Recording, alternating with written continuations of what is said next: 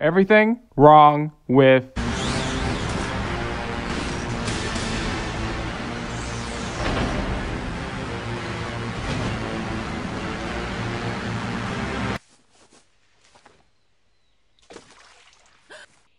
What was that?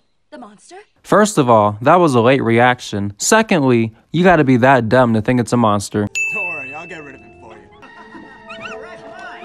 Oh, hell no. That's animal abuse. They've been in jail for so long to not realize that's Baragon.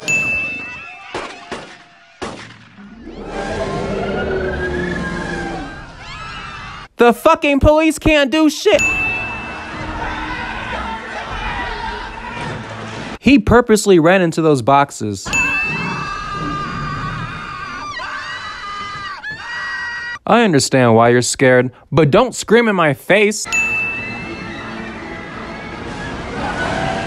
Y'all had all that time to evacuate, but y'all chose death.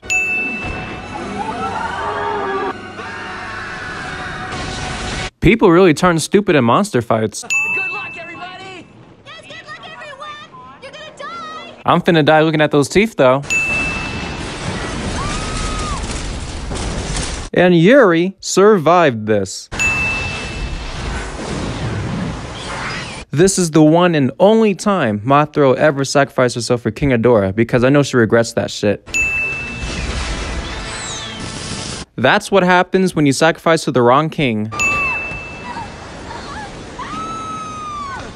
First of all, she fell out head first. Secondly, this would have been a lot more believable if he at least grabbed her by the foot, but until then, she would have been dead.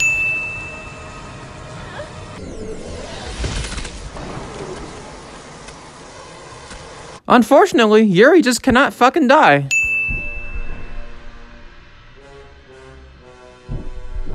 What a wonderful ending, but now let's go ahead and just reboot the series.